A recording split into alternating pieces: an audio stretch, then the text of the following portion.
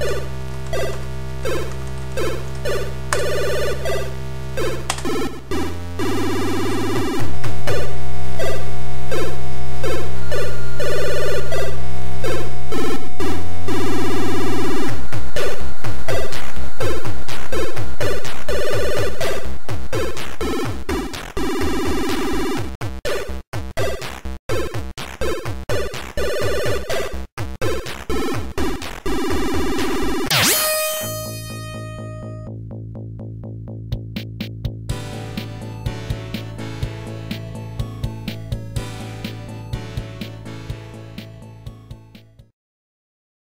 Alright guys, Xyphoe here with another long plane review for you today and it's Chicago 90 on the Amstrad CPC uh, released uh, by Microids in 1989 and was also ported to the Atari ST, Amiga and PC DOS.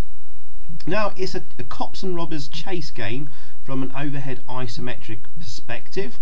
Players either the gangster trying to escape the city or take control of six different police cars trying to capture the gangster over three different uh, stages of difficulty. Uh, just quickly, the programmer was Patrick LeNestor, but I can't find any other games he's done on the Amstrad, and graphics by uh, Cedric Cezal, uh, who also did graphics for Eagles Rider from Microids, and Aurelien Meroux, I'm probably not pronouncing that right, who also did graphics for Eagles Rider and Highway Patrol, also from Microids. And as you can see, we've got a lovely uh, loading screen there.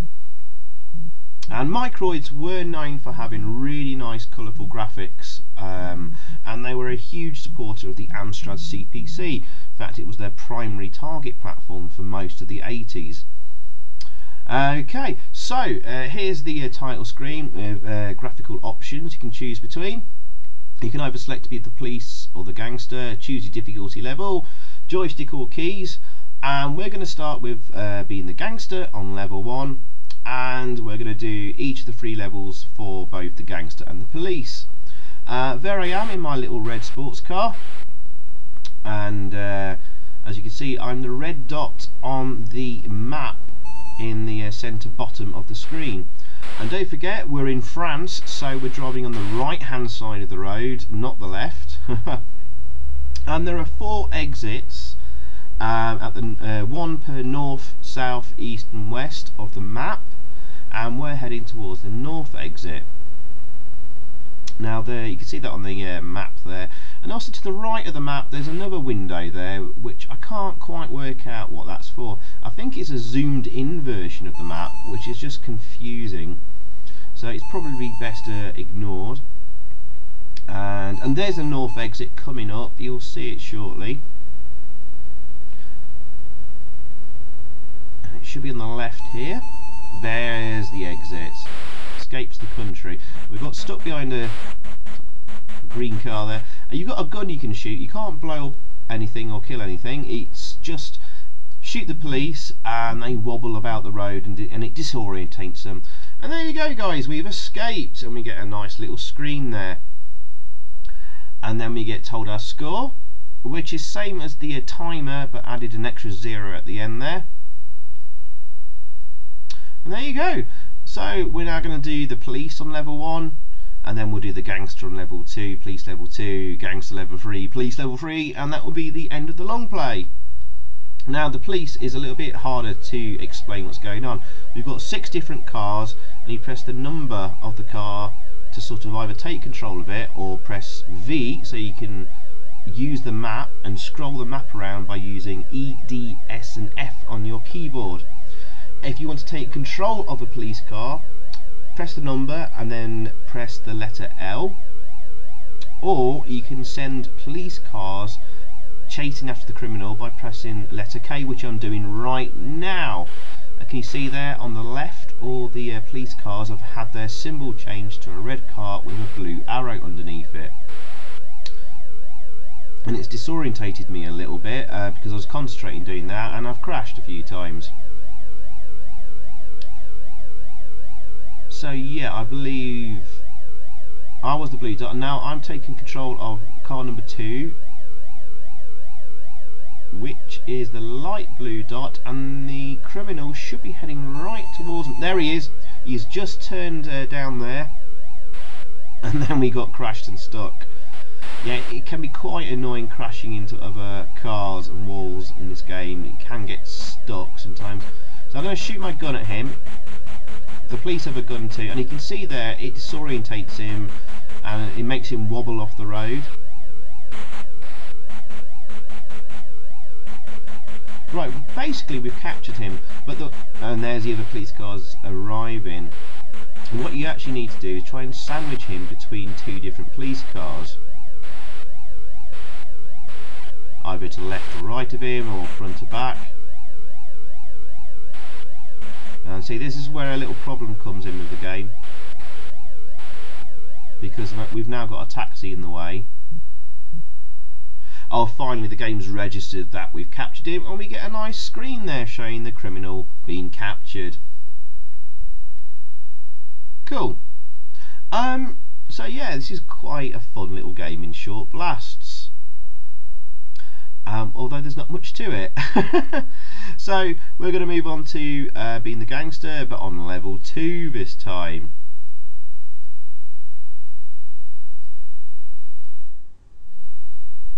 And as you can see guys it's quite a short long play. We're over and done with in about 15 minutes.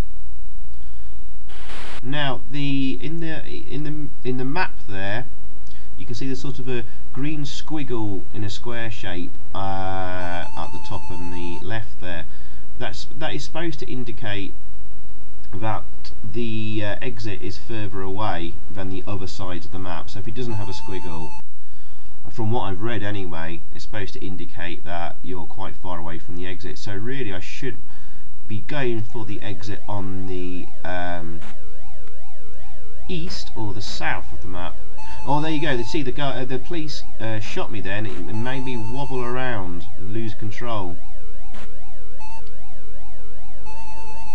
So yeah, you want to take as many turns as you can although it's a lot harder to turn in the red sports car, he tends to go uh, a little bit faster or accelerate away quicker. Oh my god, I am stuck on the edge of the map there. If that happens, you want to reverse. And the way you reverse is to reduce your speed to zero, press the fire button and push back on the joystick, and that will put you in reverse. And to go back to accelerating, you pretty much do exactly the same. Oh, and there's the exit we've just missed.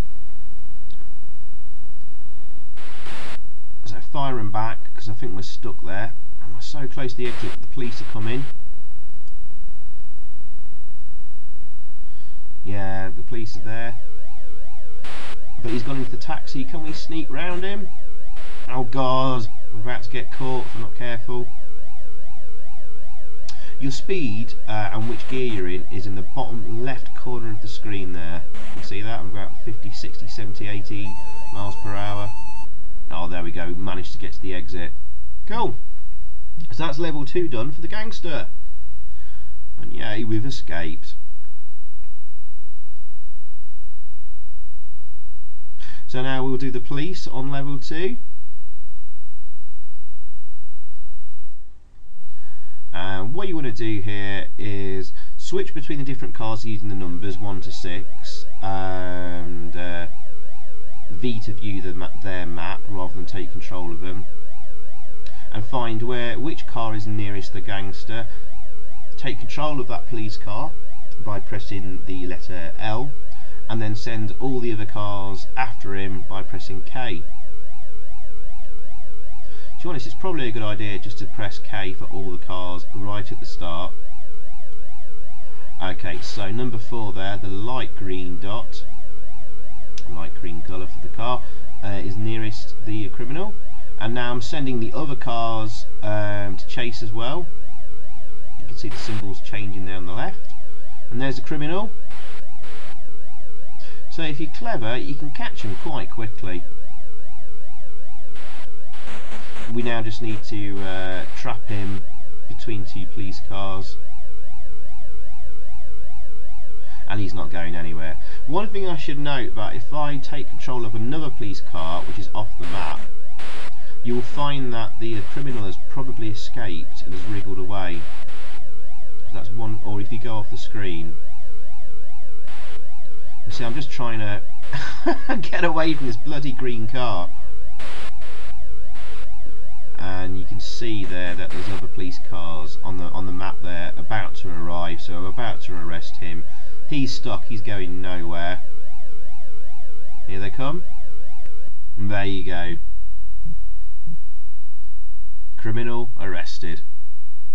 It's quite good fun. Um, but that's it. That's all there is to the game. There's no extra modes. There's no two-player. It'd be quite hard to do two-player on this. So yeah, just moving to level three for the gangster now. Um, it is enjoyable in quick bursts. Um, may not have been too happy to pay full price for the game at the time, but um, it is it is fun. It's certainly flawed. Uh, the controls do take quite a bit of getting used to. Oh, check that out! Dukes of Hazzard style jump over the police. Yeah, if you want to do jumps, uh, if you sort of nudge the scenery that you're closest to, if you're going at a certain speed, you'll go flying in the air, which is nice. Leading to some spectacular stunts there, so that's kind of cool. That gives the game a little bit extra there. There you go. Whee! Um, so this is this is a game that's quite hard to review because for what it is is pretty good. I mean, you'll get frustrated initially with the controls and getting stuck on things, but you kind of get used to it and the more you play it and work around it. Um, but otherwise, lovely graphics. It moves quite well. Not the best frame rate in the world, uh, but to be expected on a 8-bit computer, especially an Amstrad. Um, sound effects are alright, there's no music. Um, I'm sort of thinking as a review score, maybe a, like a 7 out of 10, but with a warning that there isn't much replay value. You're going to play it for maybe 10 minutes to half an hour, get a bit bored, and move on, and maybe come back to it a few weeks later, a few months later but there's essentially nothing too much wrong with the game. There's, it just lacks depth. So yeah I think I'll give it a 7 out of 10 I think it's a 70% a game. So there you go. That's level 3 on the gangster done and we've escaped. So for the last bit of the video it'll be uh, level 3 um, for the police. And that will be it but um, check out my last video game. Uh, bleh, start again. Check out my last video, guys. Um, I did all of the games from Microids in a kind of a let's play, Chicago 90 included. Um, there are some other fantastic games from Microids. Super Ski being one, Wings of Fury, Shufflepuck Cafe, Eagles Rider, lots to check out there. So check out that last video I did. Whoa, the criminal's just gone by me. I've got all the other police cars chasing him now. Yeah, he moves a lot quicker. Oh god, and I got stuck. That's the annoying, that's the really annoying part of this game.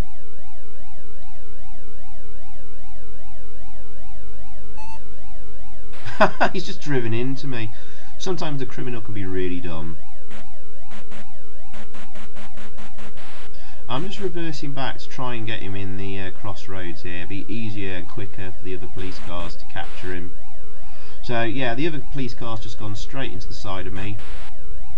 there's the one arrived. And there's a big police car pile up going on. Kind of like kind of like in the Blues Brothers movie. Number five, the, uh, the, the, the police car with the white dot. Where is he? Where on earth is he going? Oh, he's finally catching up, as is the orange one. And what, what I'm trying to do now is just get behind him, so so we can sandwich him, and that'll be game over for him. Uh, but just trying to get around him, I keep getting stuck. So collision detection, not fantastic at times. Yeah, you can't blow him up. I think we're going to have to try and wait for another police car to arrive behind. Otherwise I'm going to have to loop, loop myself around and he might wriggle free and escape because the gets the computer gets a little confused. But I think the uh, green dot, car number four, is about to come around the back and trap him. So yeah, there we go. So yeah, Chicago 90. That's all the uh, levels complete for both the gangster and the police. Get a nice score there. And that's it guys. Um, so yeah, nice graphics, okay sound effects, decent gameplay, but very shallow, and lacking in depth, and a little replay value. Um, so overall, um, I'll have to give this a 7 out of 10. And uh, yeah, check out more Microids games. Uh, check out the last video on my channel. I hope you enjoyed. And thanks for watching. See you again soon, guys. Cheers. Goodbye. So thanks for watching guys, I hope you enjoyed that. If you did, please click a like below, leave a comment and also subscribe if you haven't already. And over that way, there's another video for you to check out. Xyphoe, out.